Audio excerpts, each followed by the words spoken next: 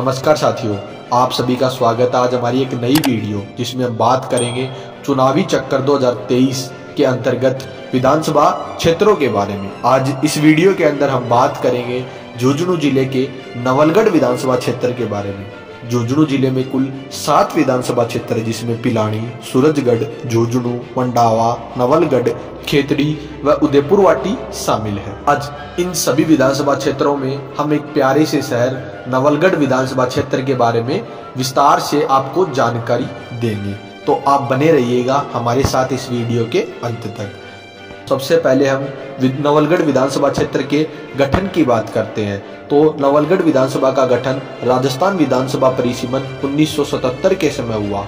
बात की जाए नवलगढ़ क्षेत्र के भूगोल की तो यह क्षेत्र 15 किमी मुकुंदगढ़ के दक्षिण में और 10 किलोमीटर डूडलोड से दूर पड़ता है।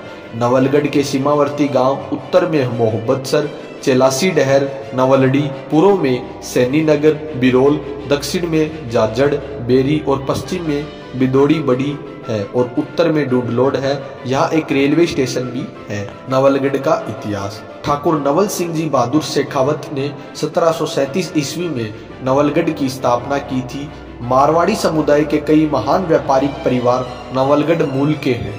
नवलगढ़ उच्च दीवारों और अलग अलग दिशाओं में चार परा स्नातक अगुणा दरवाज़ा, बावड़ी दरवाज़ा, मंडी दरवाज़ा और नानसा दरवाज़ा से मिलकर सुसज्जित घेरे में सुरक्षित किया गया था। नवलगढ़ से सीकर, वह जुजड़ू से लगभग समान दूरी पर है। नवलगढ़ मतलब कि सीकर और जुजड़ू से लगभग समान दूरी पर है और यह जुजड़ू से करीब उनचालीस किलोमीटर दूर है और वहीं सिक्कर से मात्र 30 किलोमीटर दूर है।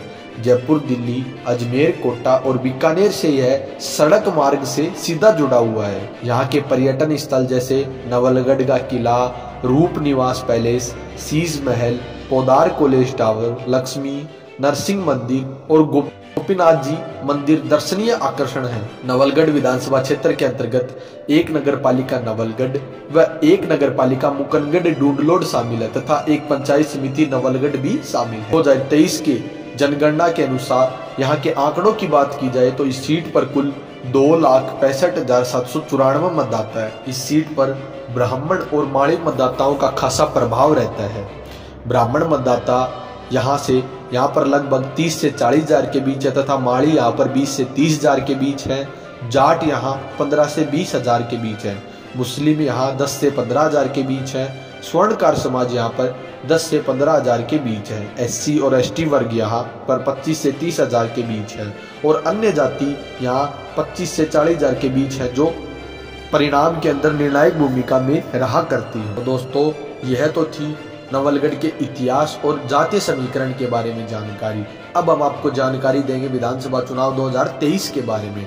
तो यहाँ से कांग्रेस ने अपने वर्तमान sitting MLA doctor Rajkumar Sharma को एक बार फिर से मैदान में उतारा है। वहीं भाजपा ने इस बार एक नए राजपूत चेहरे के ऊपर दाव खेलते हुए विक्रम सिंह जाखल को मैदान में उतारा है। साथ ही राजकुमार शर्मा जनता के बीच में अपने विकास कार्यों के बलबूते नवलगढ़ क्षेत्र की जनता के बीच जा रहे हैं, वहीं विक्रम सिंह जाखल, राजकुमार शर्मा के विरुद्ध एंटी इनकम्बेंसी और इन, इनका जो विरोध हो रहा है, गोचर भूमि वगैरह को लेकर, उन चीज़ों को लेकर जनता के बीच जा रहे हैं। अब देखना यह होगा कि आने वाला विधानसभा चुनाव, नवलगढ़ विधानसभा से जीतने में कौन सफल हो पाता है।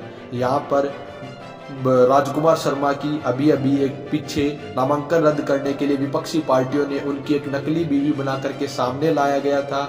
वहीं उनकी उस नकली बीवी का कोई भी पैंतरा नहीं चल पाया। हालाँकि अब देखना यह होगा कि जनता किसकी ओर आने वाले विधानसभा चुनाव में अपना रुझान दिखाती है और कौन आने वाली तीन दिसंबर को यहाँ से चुनाव जीतने में सफल हो पाता है। या राजकुमार शर्मा इस एक बार फिर यहाँ से इस सीट से जीत हासिल कर, जीत का चौका लगाने में सफल होंगे या फिर भाजपा यहाँ से कमल खिलाने में सफल हो पाएगी?